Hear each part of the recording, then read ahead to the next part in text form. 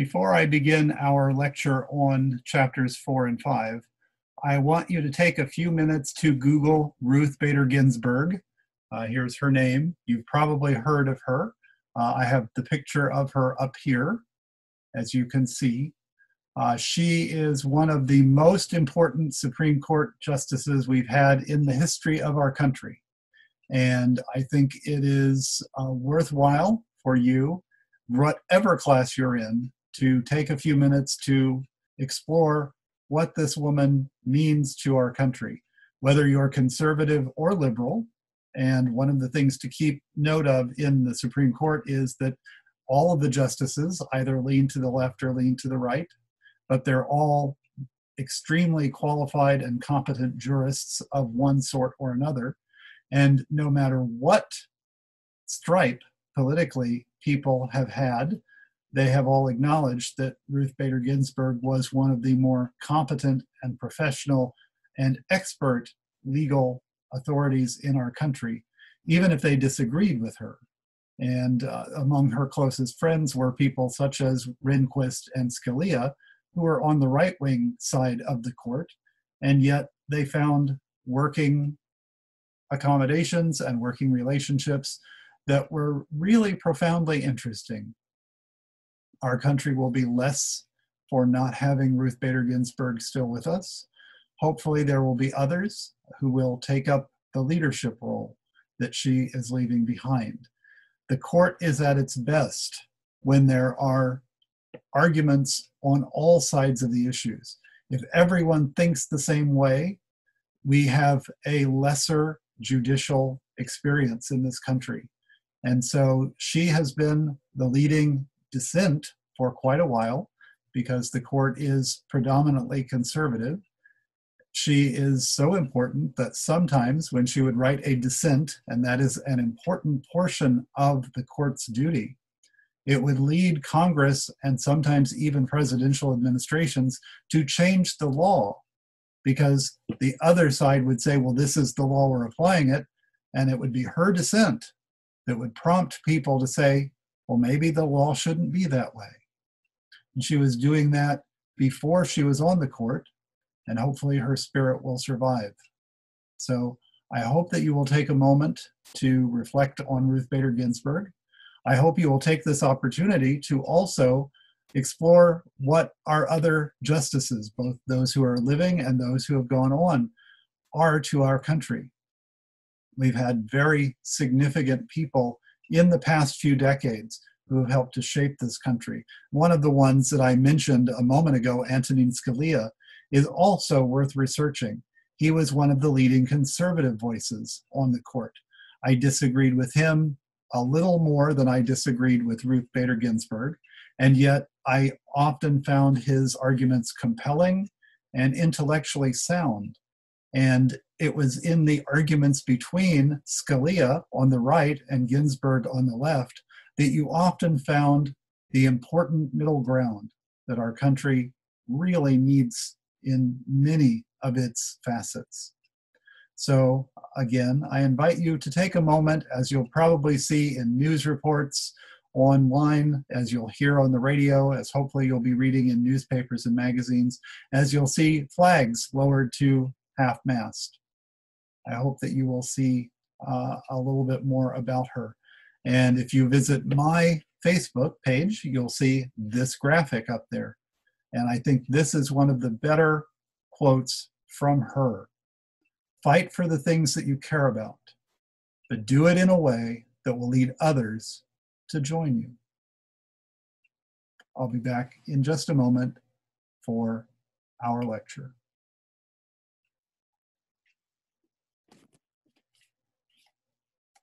Welcome to our lecture on chapters four and five in earth science.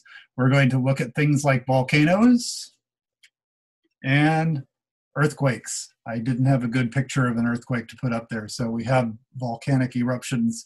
There are different types of volcanic eruptions and there are different types of earthquakes. We'll look at all of these things. These are chapters four and five in the earth science text. You have in your modules the PowerPoints for four and five. You should be able to find the answers to pretty much all the questions in quizzes four and five. Some are true and false, some are multiple choice in those PowerPoints or presented here in this lecture. Uh, remember, it is, however, open notes and open book and uh, everything else. And if you can't find a specific answer somewhere, that's what the internet was invented for. I don't mind your using that along the way. So without any further ado, uh, also let just let me let you know uh, each of these chapters would usually in class some, take somewhere around an hour to do a lecture. I'm not going to make you sit here through two hours of a Zoom lecture. So I'll, I'll be glossing over some of the material without a, a huge amount of detail. Uh, I will be putting up a couple of extra videos, one of which is already up in your module on how deep we can drill, how deep uh, things are on the crust of our planet. And I'll put up a couple of other videos as well that will be useful in terms of volcanoes and earthquakes uh, so that you can see a little bit there and not just listen to me. But let me find out again, sharing the screen. I want to share this one here. And let us view the slideshow. First, we're going to look at plate tectonics. So this is mostly our section on earthquakes. Uh, plate tectonics is a relatively new idea in science. Uh, we had really up until the 1800s no idea that any of the plates, any of the continents moved around on, on our planet. Uh, in, into the 1960s, we had just a limited idea about how such movements could be going around. Uh, so this is really revolutionary in, in, in many ways. Uh, Alfred Wegener was someone, well, let me stop here for just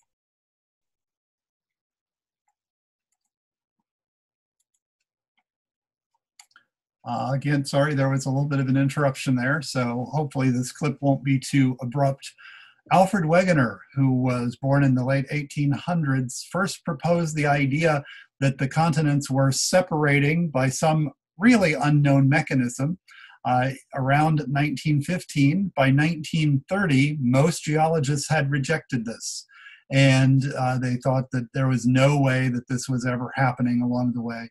Uh, he died in about 1930 as well, so he never got to live to see the fact that by the 1960s, everyone was signing on to this idea. Uh, this is not unusual in the history of science that someone who has the right idea can have it rejected, and then decades later, sometimes centuries later, people say, "Oh yeah, we should have." You know, uh, Galileo is a case in point. But what is happening essentially, as we understand it, is the movement of the plates which hold the continents and various other parts of the crust break apart and move back and forth with each other. And we can actually see on the map how things seem to fit together. And as they break apart, they can create new crust that mostly happens in the ocean areas. And we uh, just a very few places where it's above ground, like Iceland. Hey, there's a reason why I go there a lot. This is one of the reasons. And um, we also have drift, continental drift. They're sort of like puzzle pieces floating away from each other sometimes uh, as we look at maps. Uh, when they were all together, uh, we had something called Pangea, and Wegener's original idea had these kinds of scrunchy uh, uh, uh, placements of the different continents, including, as you see on the map, South America and Africa look like they fit together. Antarctica and Africa, Antarctica and South America have pieces that seem to fit together. North America, uh, the Appalachians, I may have mentioned this at another point earlier in, in our class. Uh, came about because North America and the northern portion of Africa used to border each other and scrunched, and it's that scrunching that caused the mountains to buckle up. Uh, so, so we have have this sort of interesting thing. Pan-Gea means all. Pan is in like Pan American uh, uh, uh, idea. Uh, Gea as in geode, geology, Gaia, meaning all of the earth pretty much most, not all. We have a few things that were separated out, but this wasn't the only supercontinent. These have been shifting and, and, and moving over and over and over again throughout the whole history of our planet. Our planet's four and a half billion years old. Uh, so this process has been going on for a very long time. It took at least half a billion years or so for the continents to actually form, for the Earth to cool off enough for that to happen. But when we're looking for different evidences of this, we see how rocks on both South America and Africa are similar, fossils are similar. We see various patterns of the, the geology and even patterns of the climates that fit each other along the way. We uh, see in fossils, uh, there are fossils all over the world. But how do you end up with the same kinds of fossils in Australia, Antarctica, Africa, and South America if they were all always separate by the ocean and these are things that didn't swim? Well, when they were together, the continents were together, the animals would just breed and walk across. That's also true with plants. It's not just animals, it's also plant life. So we'll find things that are similar in both Africa and South America that could never make it across the Atlantic Ocean. Um, you might have like pollen that floats in the air or even maybe birds. But when we're, we're talking sizable animals, that doesn't happen. That just doesn't happen along the way. As we are also looking at different parts of the world in terms of what they used to be climate wise, we see large portions of Africa and India, both of which are now super hot near the equator or covered with ice once upon a time. Well, that makes sense when they were all combined with Antarctica and mostly centered around the South Pole. In fact, there's one conjecture, and I will put up a video on this uh, in, in, the modules. I'm going to write it down right now so I don't forget it, uh, called Snowball Earth. Snowball Earth uh, hypothesis is that the entire surface of the planet at at least at one point, maybe several points in our history, covered over completely with ice and snow. Now, it didn't freeze all the way solid down. We still had liquid oceans underneath, but as the plates broke up, it broke up too. So, once again, climate change. Our climate has always been changing, and different portions of our uh, our uh, planet have also been changing in different ways. We have, like here in North America, you see it where it says coal swamps. This area here used to be in a much, much more balmier temperature. What is now considered to be northern New York, once upon a time was right about the equator. That's going to make a very different environment. That's going to make for a very different uh, temperature range that's there. Then we see the way that earthquakes are shifting things around. We see the, the age and size of the seafloors a lot of these things combine. So we have not just one piece of evidence. What we have when we're talking about the theory of plate tectonics are several different layers, no pun intended, of evidence that give us support for this theory along the way. Most of which Alfred Wegener honestly did not have. He didn't have the technological capacity to do a lot of these kinds of things. So we don't say that, oh, well, all those geologists in the 1930s, they were just stupid uh, for not understanding this. They were working with unsupported theories back then, which we now have uh, come around to seeing do deserve a lot of support. And this is part of what science does. It can sometimes validate old ideas that were rejected, and it can sometimes invalidate established rules that have been accepted for a very long time. So it pays as a scientist to not get too emotionally or personally involved in your ideas. That's easier said than done. Uh, when we're talking about our uh, uh, sort of top surface where we live, the plates that are moving around. We live on these plates that are moving.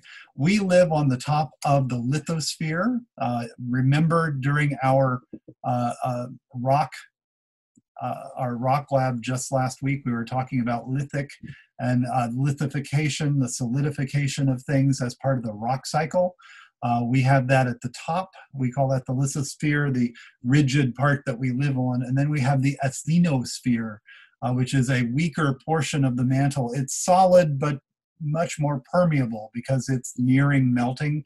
And, and we have the flows, especially flows of magma, large areas uh, that are moving uh, beneath that, but also parts of the asthenosphere are moving around as well this area down here is what's moving and melting.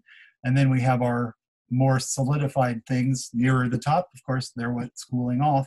Uh, continental crust and our oceanic crust, both of which are older than the stuff down here, but the oceanic crust you see is thinner, tends to get recycled more than the continental crust. Continental crust will be older in general than the oceanic crust. And here we can see the major plates that are around. We have the South American plate and the African plate, which are pulling apart from each other. We have the Pacific plate, which is one of the larger plates on, on the planet, which is actually curving around. And as it curves around, it pulls in different directions. That's why part of California is going one way and part is going the other, while North America butts up against it because it's going in that way. Notice we've got lots of mountain ranges where those kinds of things are happening.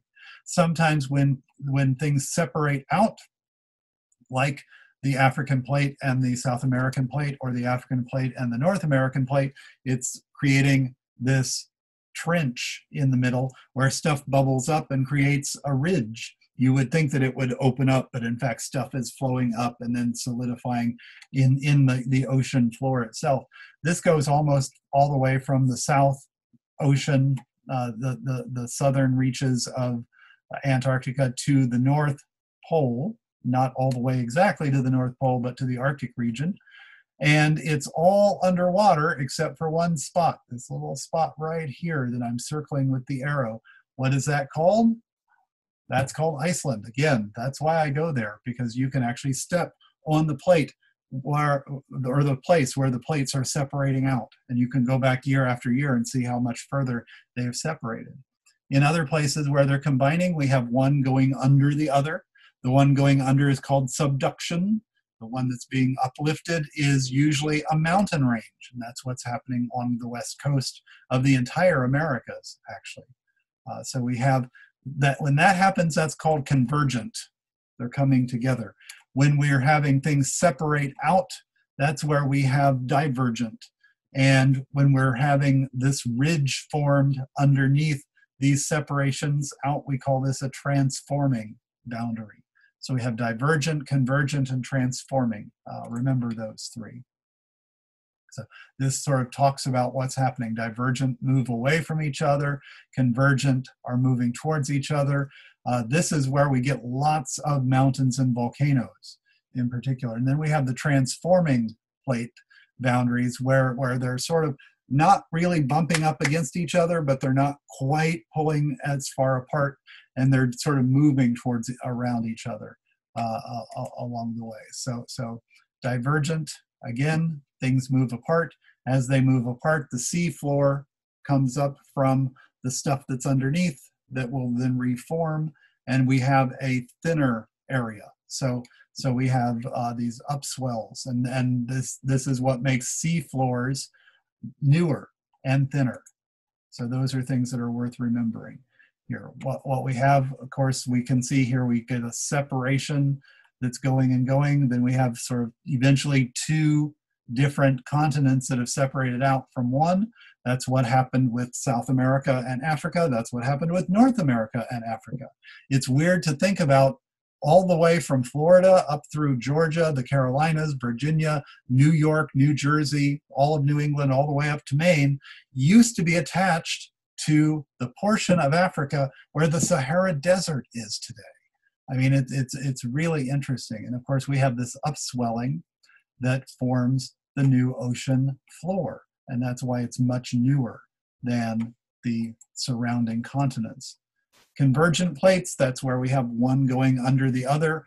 We have the Sierra Nevada, the Cascade Mountains, Andes Mountains.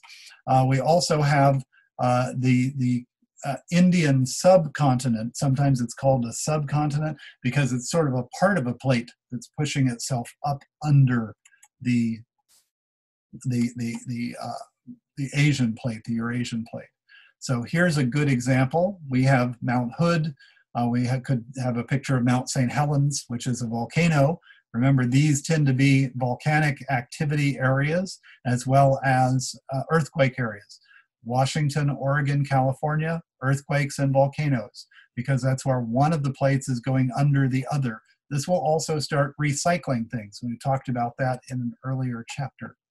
So then we have our convergent ones. We will often have uh, uh, uh, volcanoes forming on the ocean floors as well. And sometimes we'll have island changes. The Aleutian Islands are a bunch of volcanoes, like the one I've got behind me here, that are sort of forming out of the sea as two portions of the seafloor are moving past each other along the way. So, so here we sort of have that one is sort of buckling up under the other as it's moving, as, as, as the Pacific plate is turning around. Uh, here we have uh, uh, uh, mountain ranges such as the Himalayas as well, which is where, again, the India subplate, as I, as I mentioned, is sort of going, going, going and and it used to be sort of its separate thing and it's just pushing itself and as it pushes itself under the plate, it pushes the rest of the mountains up and up and up. That's why this area up here in the top of India, which is to, today Tibet, part of China, is so much different from the rest because you can see exactly where the ridge is. You can see exactly where the, the shift is along the way. And that will continue to happen. Uh, it, it will so, sort of slow and be less and less and less as that happens. Here's a satellite photo, and you can see exactly what I mean. Uh, you can see where the India subplate is. You can see all this white stuff. This is snow, snow-capped mountains, and these are a mile or more up at a minimum. And some of these are five miles and higher. Mount Everest, for example, and K2 and others are five miles above sea level because the India plate is pushing them up but there's an upper limit to just how high they can go before gravity will pull them back down. Uh, but because of this, all of this stuff here, all of this ice and snow as it melts, runs off into river streams. And it runs off into big rivers in China over in this area. It runs off into a big river down here in Southeast Asia, and it runs off into several big rivers, including the Indus, Indus and the Ganges and uh, other rivers into India. 3 billion people on our planet get their water from the Himalayas, from the, the runoff from this ice and snow here because ice and snow melts into fresh water.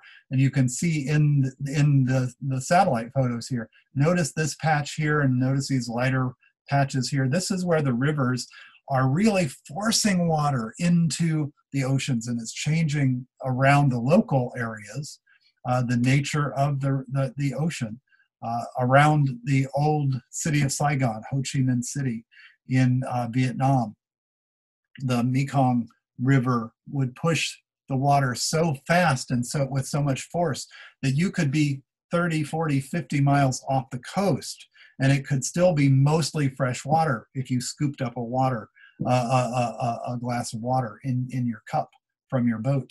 Uh, that doesn't happen quite as much now. Why? Because they've dammed it and they're stopping the water before it gets down there. It's changing the environment as it does that along the way.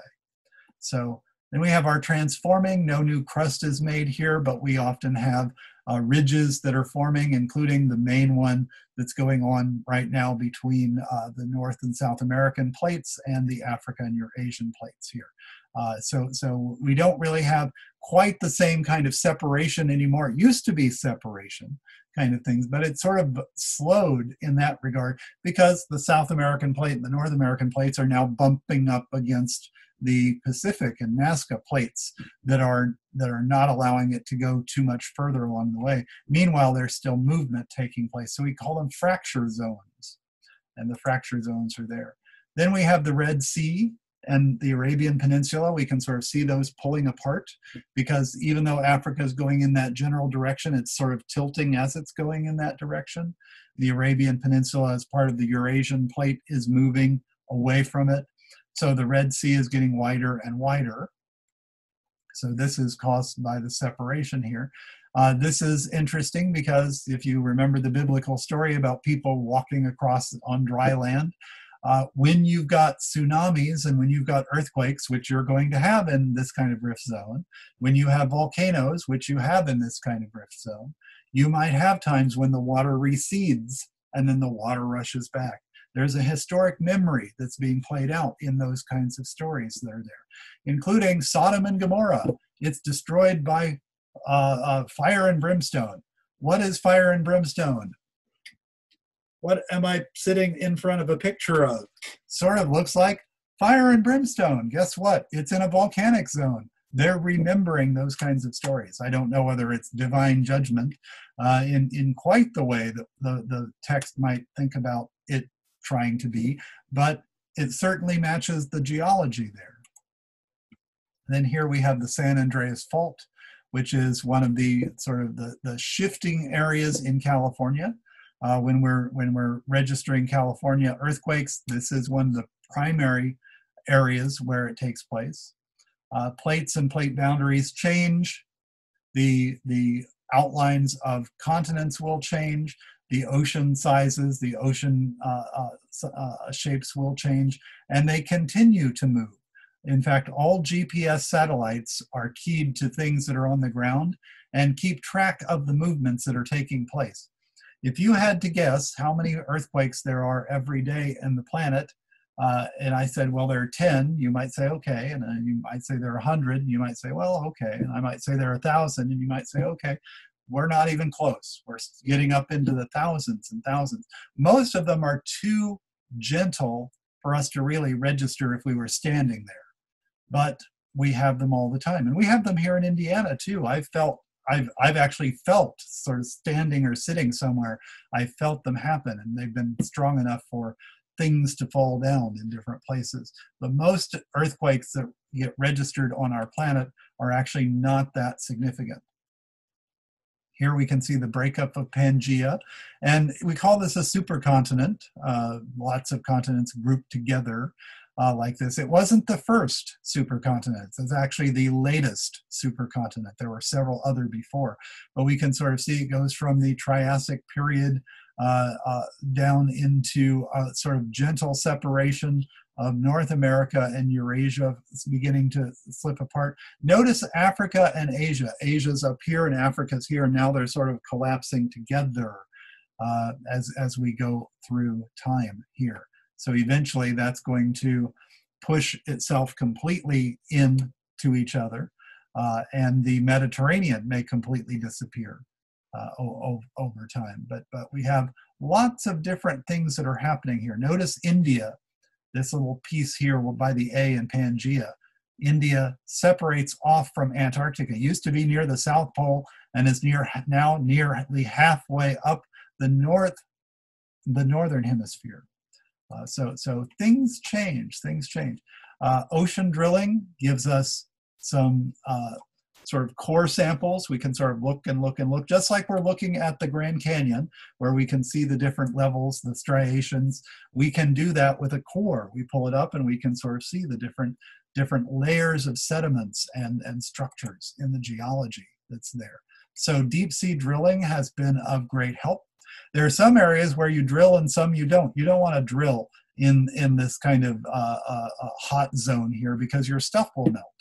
And if you watch the video I've already put up on how far down we can drill, you can see some of the things that we've drilled down to. We can't go any further where they're drilling because it's too close to the hot zones and everything melts when you're trying to drill any further down than that. We also have mantle plumes and hotspots. And one of the things that happens with a hot spot is if it sort of sits there, it just builds up and builds up and builds up. The best known of which is in Hawaii. Uh, what's happening in Hawaii. Notice we've got all these different islands here, but it's it's not just these few islands. We've, we've got um, uh, sort of uh, half a dozen main islands in Hawaii and several more smaller islands and then uh, island islets around. But what's happening is there's a hot spot. We have what's called a rising mantle plume here that gives us a hot spot. And the plate itself is moving. So the hot spot stays there, but the plate moves and it builds an island and then the plate moves and then it builds an island there and then the plate moves and it builds an island there so you just have almost like a conveyor belt it's building one and that moves over and it's building one and that moves over and it's building one and that moves over and and you can sort of see all there's this huge mountain range underneath the pacific ocean because what the hawaiian islands are are mountaintops the biggest mountain on the planet is not Mount Everest. The biggest island on the planet is actually this big island of Hawaii. It's just most of it is underwater. But if you're measuring from the base to the top and the size of it, it wins. Hawaii wins. Why is this so big and the others are smaller? It's because the plate sort of stopped moving for a while and now it's stayed there, so it's built up and built up and built up. Now the hot spots actually shifted so that the next Hawaiian island is already in the stages of forming, Loihi. They've already named it, Loihi. It's there. But you can see all of these other islands that failed. We had this huge long chain, and then it stopped for a while, and we got one top of the mountain. This is the top of the mountain sticking above the ocean here. And then it moved rather rapidly, so we didn't get any that were there. And then it slowed and slowed and then really slowed. And here we can see Loihi, which is about to form in about a million years. So get your condo reservations now. So trust me on that. It, it, it, it, it, it's a hot property. Ah, hot property. Yes, I know, bad jokes. We'll keep going.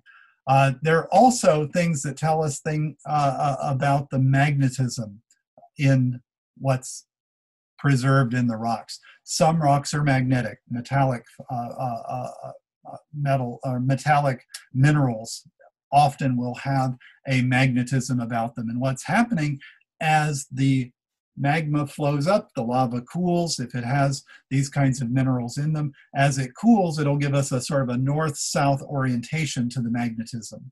Well, sometimes that's in different directions. So, okay, why is it this way rather than this way? Well, when it formed and solidified, the continents were shifted in a different direction. It also gives us an indication that sometimes north and south flip. We have those as magnetic field reversals. That's not unusual. The sun actually does that every 11 years on a regular basis. Our planet does it on a much less regular basis, and it's not even regular. Uh, it's, it's irregular. But we can see recorded in the magnetism in rocks that this has happened along the way. Our polar path has shifted, both in terms of what our actual North Pole is, as well as what our magnetic pole is, relative to both the continents and the magnetism of the planet. And we can, uh, and our magnetic pole continues to shift around in the northern hemisphere along the way because we're sloshing in the middle. Uh, so, so we can we can see going back millions of years uh, where we have the the uh, polar wandering uh, for for the different different continents as well as our our magnetism shifts there. So time scales We've got these different time scales that are here. I'm not going to have you worry too much about that. Uh, when we're doing uh, MYA, we're sort of talking millions of years here. Uh, so, so this is a very, very slow process. Uh, plate motion can be measured, as I mentioned before, by a GPS. It can be measured by what's called very long baseline interferometry, uh, which is another thing that is often used in astronomy as well as uh, geological surveys like this as well, where, where you're, you're really taking the entire planet or much of the planet into your scope of measurement at the same time. But we also have different direct measurements from things that we have directly observed in terms of either sea core samples or other things that have been done that way. Here you can see the arrows of movement. We have a, a push on one side and a pull on the other side uh, of South America. So we've got the buckling with the Andes Mountains uh, there. Then we also have the North American plate, which is shifting here. While it's shifting in that direction, the Pacific plate is also turning, but turning at a different rate in that same general direction. Uh, and then we have a tiny little plate, almost a platelet, uh, up here in in in the area between uh, what what I'd say Oregon to uh, British Columbia, the southern tip of Alaska here. This gives us a much more active volcanic zone, more volcanoes in this area than say down here in, in California. Then we also have the Philippine plate, uh, which is which extends up into uh, the the uh, sort of area just under Japan, and we also have uh, uh, the, the plate that is moving again against the Eurasian plate over here, against Japan. Guess what? Lots of earthquakes, volcanoes, Mount Fuji in Japan. Uh, so, so we have quite a number of things happening there. Then we also have this the, the Eurasian plate and the Africa plate. Well, guess what? We've got Mount Vesuvius right in here. Uh, we also have the Arabian plate, which is a little bit separate, and the uh, the India plate, which is shoving itself up under the Eurasian plate, giving us the huge mountain range. So we've got some really big plates, some smaller fractures of plates that, that are around, and things are moving. Five centimeters a year doesn't sound like much. We're talking a couple of inches, but you know, a couple of inches year after year after year after year. I went up here, see this is the Reykjanes Ridge, which is where things are separating in Iceland. When I first went there, when I was a child, I put one foot in North America and one foot in Eurasia, in Europe. And I went back the next year, I went back the next year, I went back the next year, I went back the next year. I can't put my feet in the same places where I put them 45, 50 years ago. Now, I can't stretch that far anymore. That's how far in one lifetime things have separated out. Uh, imagine doing that over hundreds of years. Things change. Things change quite a bit. So, what happens to do all this? Well, we don't have a complete model yet. We've only been working on it really since the 1960s when people said, hey, yeah, that Wegener guy, he may have had, a, uh, had an insight there. But we do have convection bubbles in terms of the hot stuff underneath when we're when we're sort of talking about the magma and the other heated parts of, of the mantle under the crust. Uh, we also have different parts that gets pulled. Sometimes when we got our convergent zones here, stuff is being pulled. We've got things that are separating out, which are giving things a push. So we've got push pull, different things happening in addition to gravity, which works in different ways. So we end up with trenches and we end up with ridges. Oddly enough, you might think this would be a, a, trench where things are separating out, but that's where the stuff is coming up and forming a new ridge. So it's almost counterintuitive. We've got different models that have been proposed. I'll invite you to sort of look online to talk about layer cake modeling, uh, especially if you're doing anything in culinary. Hey, that could be a final project in a class someday. Uh, whole mantle convection, where we've got stuff that, that is pretty consistent around the planet. Truth is, we honestly don't know. We, we, we, we are still in early days in terms of trying to figure out all the stuff that's happening in the core and in the mantle. So we have different models that are possible for movement. And is the movement all the way through the mantle, or is the movement mostly confined to the upper mantle that's just underneath the crust and the lithosphere? The honest truth is, we don't know. We don't know. But one of the things that helps us is earthquakes because earthquakes, you never think of earthquakes as being helpful, right? But what earthquakes will do is they will send out waves that can be registered almost everywhere on the planet. because they just go through and just like the ripples in a pond, if I drop a pebble here, the, the waves by the time they reach the, the edges of the pond will be much smaller, but they'll still be there. And if you've got sensitive enough equipment, you can you can measure it. And that's one of the things that happens in terms of uh, uh, earthquakes along the way.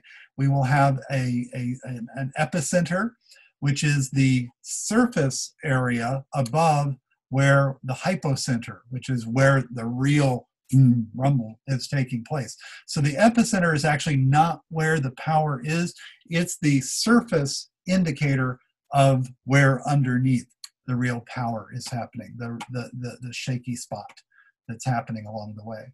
But these movements are explained by plate tectonics technologies. Uh, we have rocks that are elastic. We sort of talked about that. If they move too sharply, they'll break.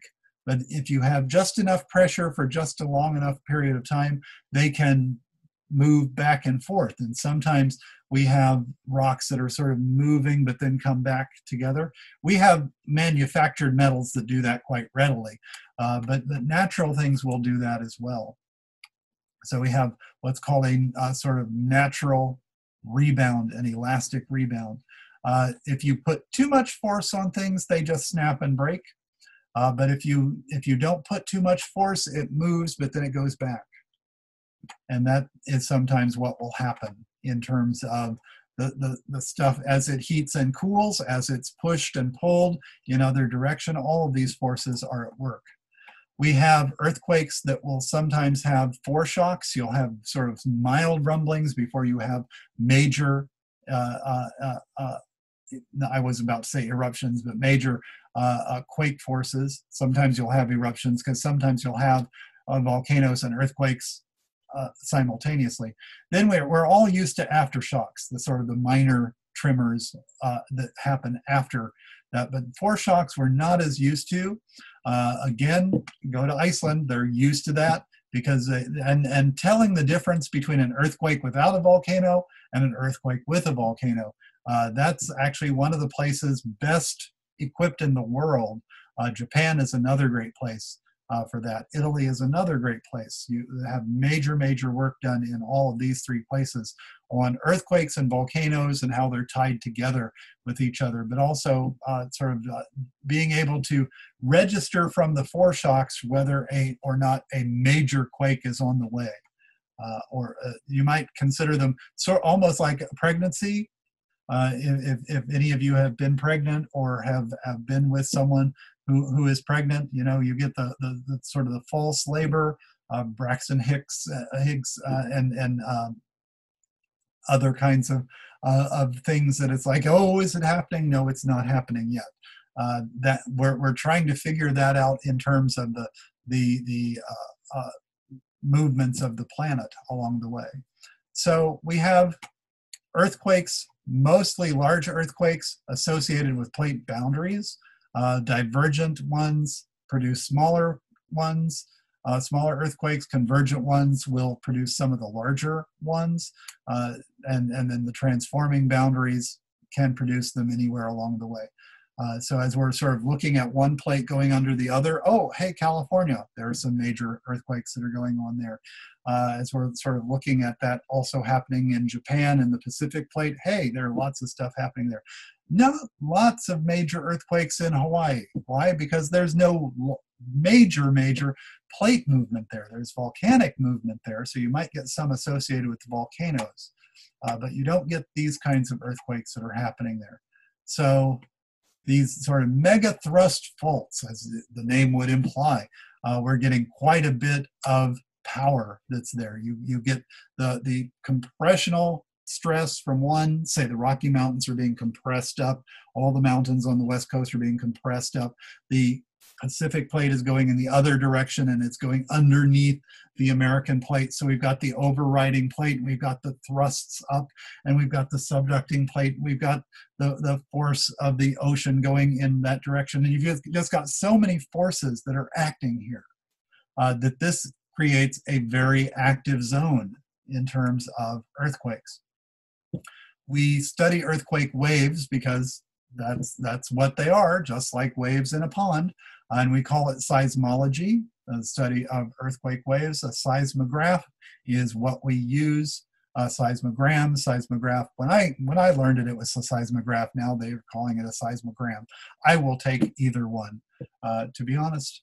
Uh, and and uh, this is what you do to record the movements of the Earth essentially what you do is you have sensors all over the place and as the sensors are moving you record the movement of the sensors along the way.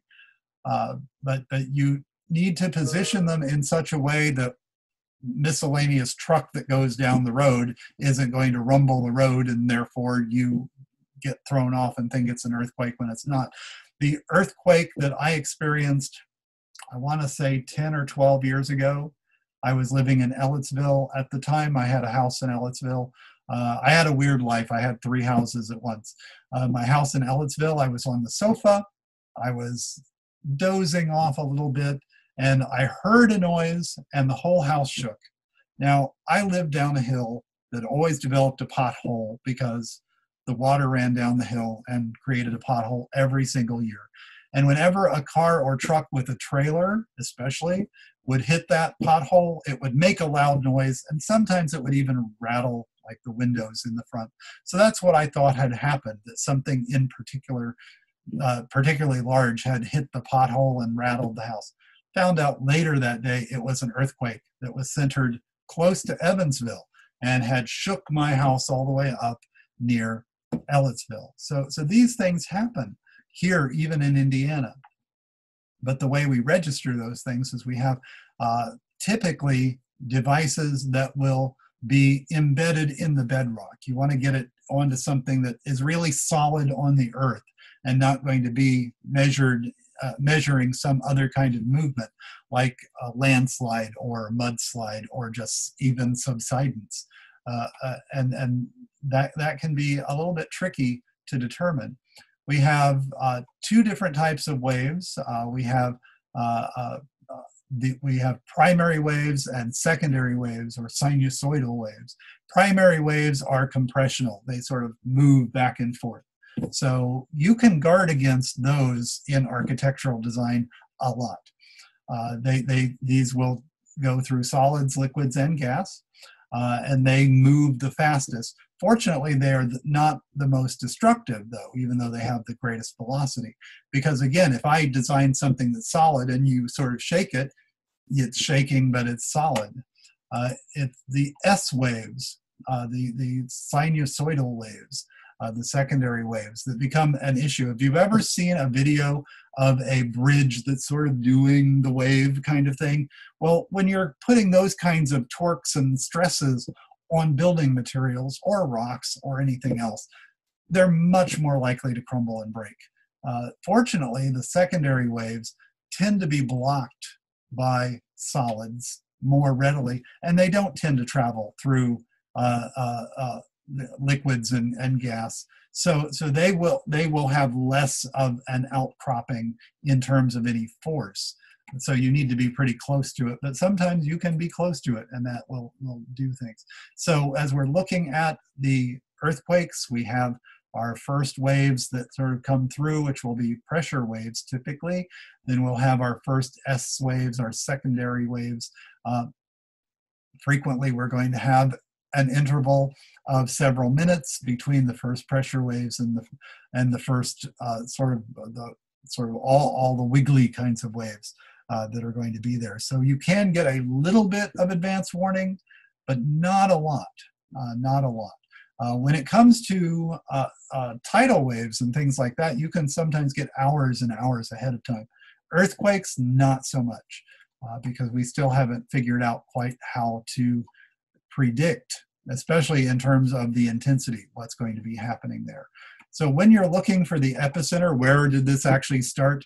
You really need to have three at a minimum different stations so you can sort of triangulate uh, three try uh, and and and what you'll do is you'll sort of figure out how long it took to get to one how long it took to get to the other how long it took to get to the third and you will then be able to focus where it happened you'll be able to pick an epicenter in terms of the surface and then you can do other measurements to figure out how far down it is along the way. So here's three seismograms uh, that, that, that are sort of registering, and we can see we've got a longer period of time here, a shorter period of time here that matches the time that's here.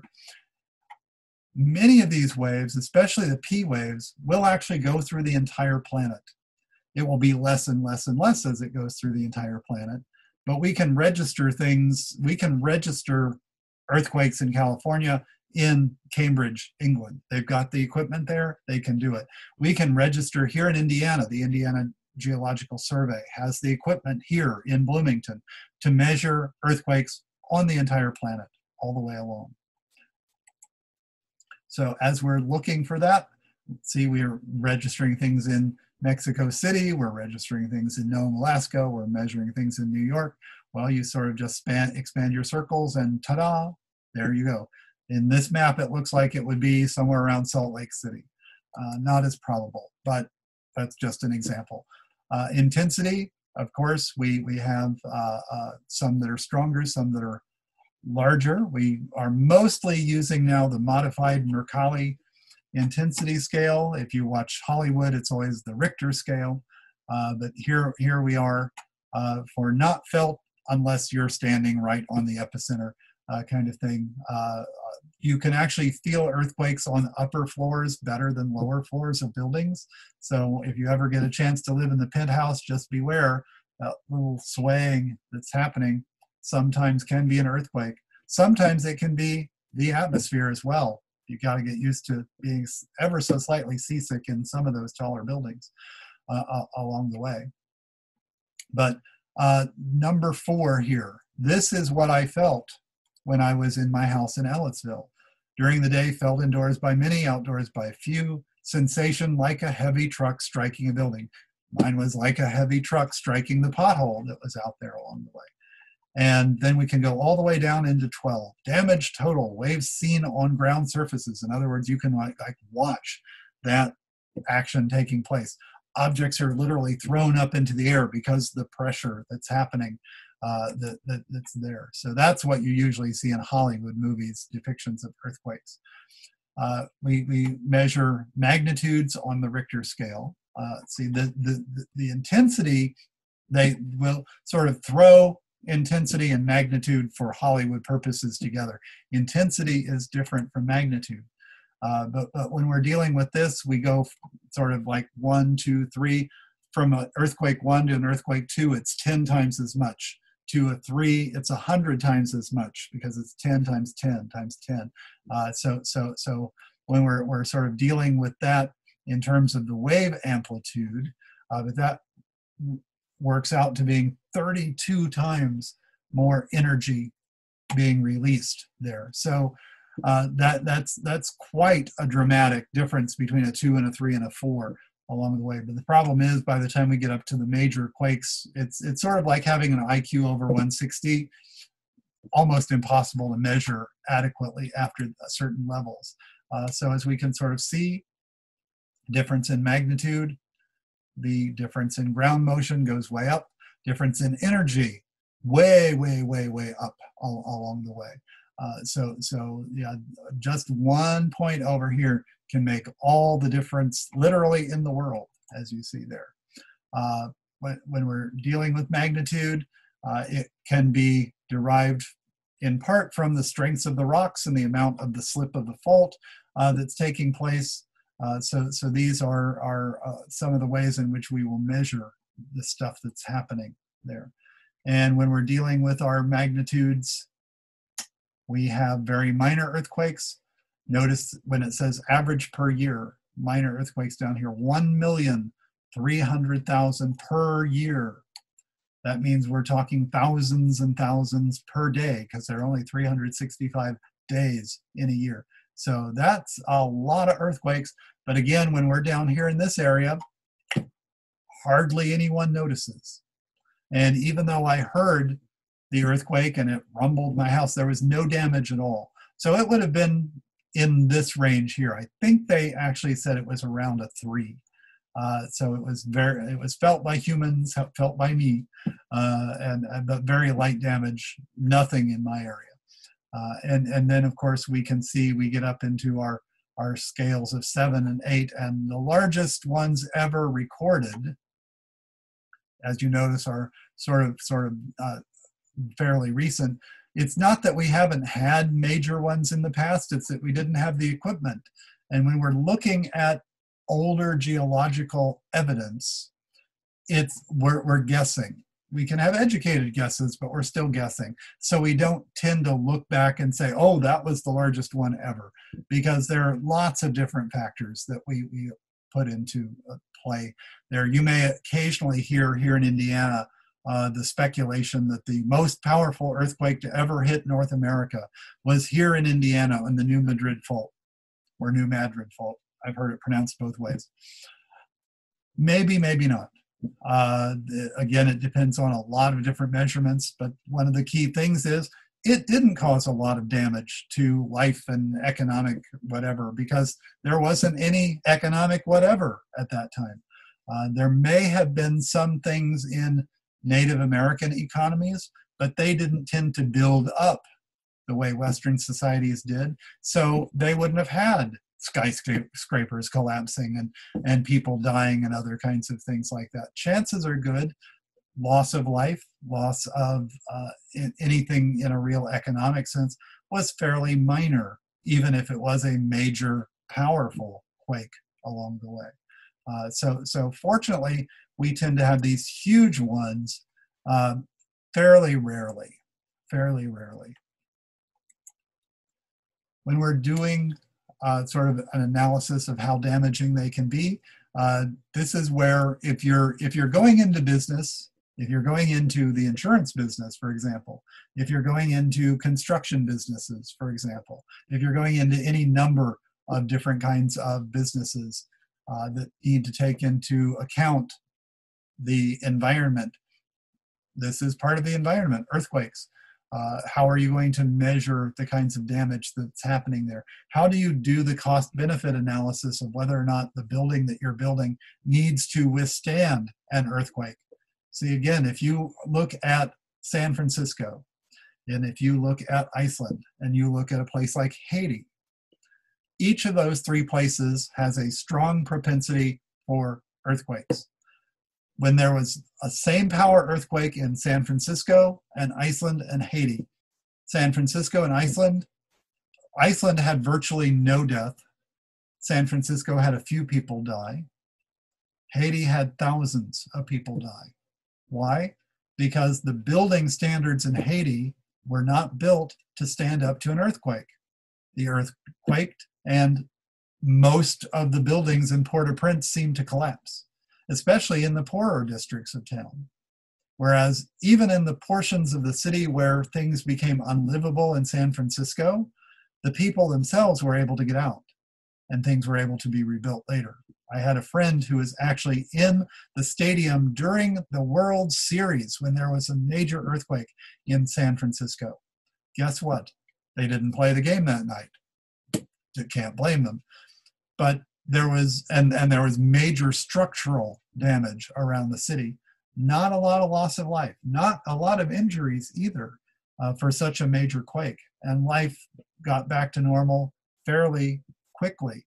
In port-au-prince it took a decade and a half before things became even halfway similar to that. One of the reasons i remember that so well a friend of mine owns a company that builds church organs and his company was hired to rebuild the cathedral organ in Port-au-Prince because the church had collapsed. So it, there, there, there are different things that come into play in terms of structural damage. We can have the ground shaking, just sort of back and forth. We can have the wave amplification. We can have the, the sinusoidal waves. We can also have liquefaction, which means you can have so much energy happening that the, the, the, the ground on which the stuff is built literally crumbles and act, turns to a fluid-like substance, maybe even fluid, although it will re-solidify rather quickly along the way. And then we have underground objects that might actually float up, including rocks and other things that can just literally bump buildings out of the way. Here we can see in earth, uh, an earthquake damage uh, these buildings, some tilted. We have now the leaning towers of apartments. Here, this one fell over completely along the way. You would have thought, I would have thought in Japan, they would have built stronger than this, knowing already their history with earthquakes. You can be sure, reasonably sure, uh, that these kinds of, of buildings would not be built again uh, in, in Japan. But what happened here was, was uh, the buildings themselves, as you can see, were sturdy enough, but the ground on which they were built essentially melted underneath. That's what you, when you go from solid to liquid, it's melting, the liquefaction. They just sort of, okay, think about building something. Let's say you have a tub of ice cream and you build a little ice cream castle on the top, or you have an ice sculpture and you set it on top, but the ice cream begins to melt. What happens to the sculpture? Well, it might be melting a little too, but it's probably melting less quickly than the base that it's on and it sort of slumps over. Uh, so this is not actually the issue with the Leaning Tower of Pisa. Then we have destruction. Of course, we have uh, landslides that can happen because of the, the weakened uh, uh surfaces. Uh, we have fires that can break out both naturally as well as power plants are, are damaged, gas lines are damaged, all sorts of things. And then, of course, tsunamis. If you have earthquakes in the oceans, and that happens a lot, uh, remember all those fault lines that we saw are, are all over the oceans. Then what it will do is it will sort of shift the water and will create waves that can literally go all the way across the ocean.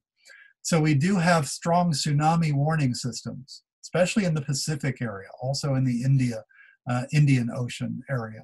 Um, uh, not nearly as much in the Atlantic area, but there's not nearly as much uh, uh, threat there. But there is in, in large portions of the Atlantic too, but definitely the Pacific uh, area as well. So, so yes to tsunami warnings, no to earthquake warning systems. So remember that.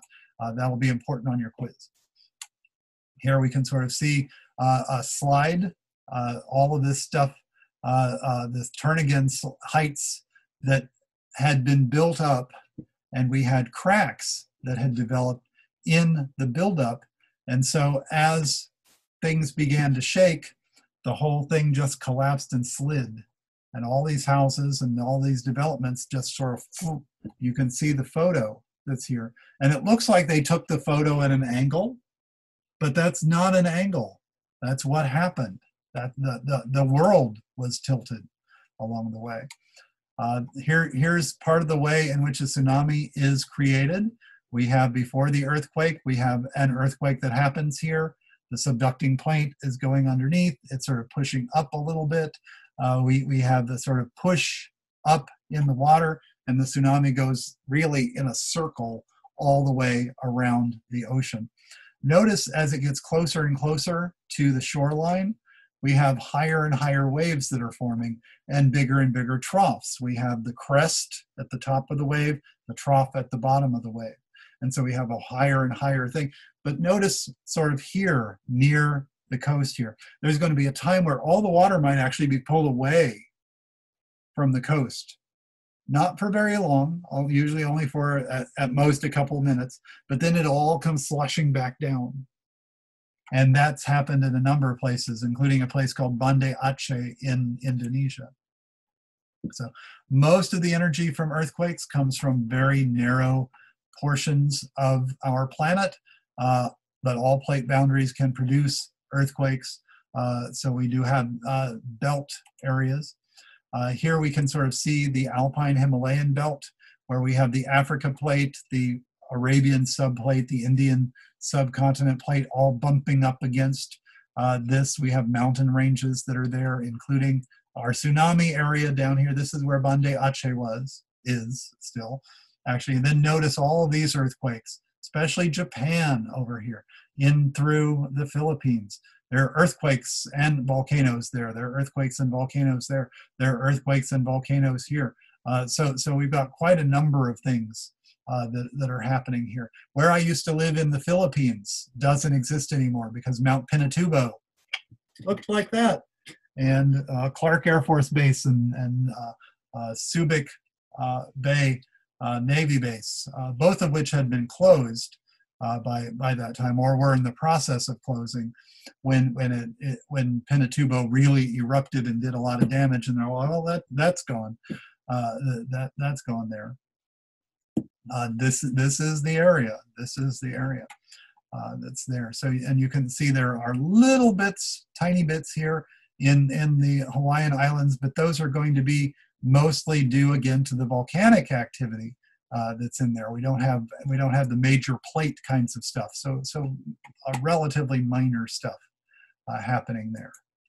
So we don't have any reliable methods in terms of our short-term predictions like there's going to be one tomorrow there's going to be weather predictions are, are just flawless compared to earthquake predictions and you know how funky uh, uh, weather predictions can be. I was going to say flunky; they can be flunky too, uh, but but uh, funky I think is a word uh, there. In terms of long range, however, we know there's going to be a big earthquake that hits California sometime, and we can even tell pretty much where things are likely to happen in the long run.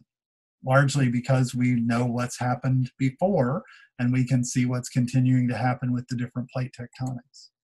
So this is uh, looking at things that have happened in the past helps us to know what will happen in the future, although it won't tell us when and won't tell us oh, the big one's coming uh, kind of thing.